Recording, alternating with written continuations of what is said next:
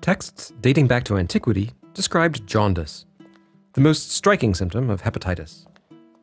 Nothing was known about this jaundice, except that for centuries it was part and parcel of the fighting soldier's life, subjected to appalling hygiene conditions. In the middle of the 19th century, Czech Karl Rokitansky was the first to describe the hepatitis virus. Soon after, the United States was engulfed in civil war and soldiers were decimated by hepatitis. In four years, there were over 50,000 cases. Advances in combating the disease were made during the 20th century.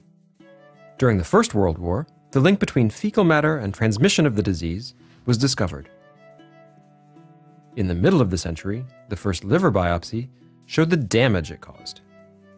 And during World War II, Third Reich doctors used Germans as guinea pigs to prove that hepatitis could be of viral origin. At the beginning of the 1970s, the hepatitis A and B viruses were formally identified.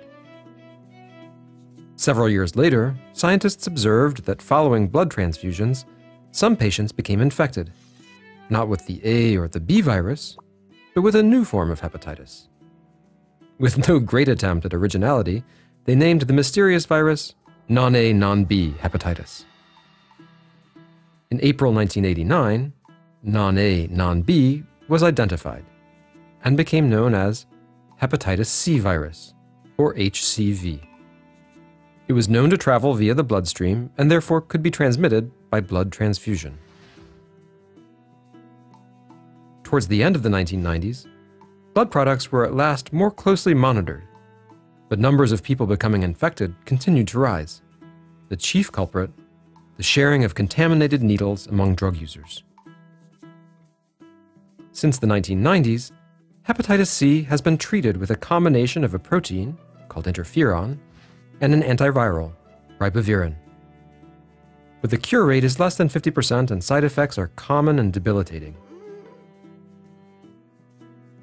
the development at the end of 2013 of a new generation of treatments called DAA for direct acting antivirals was a minor revolution, but a revolution with an exorbitant price tag. In June 2014, France and 14 other European countries launched a campaign calling on a private laboratory to reduce their price. France was accorded a small discount of around 8%.